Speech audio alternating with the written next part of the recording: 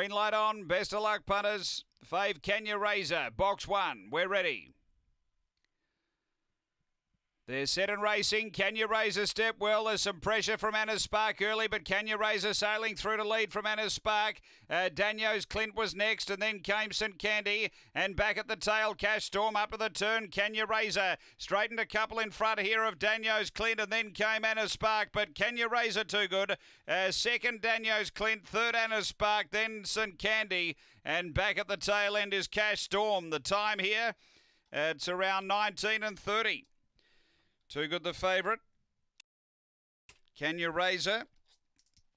Able to drive through, hold the front, and has been uh, too good in the run home. Number one, that brings up uh, a win for Lisa Rasmussen tonight. Second to two, uh, Daniels Clint for Lauren Harris. And third going to five, Anna Spark uh, for Bill Wadarchik. So numbers are one, two, five, seven is fourth after race number 12 here at Angle Park.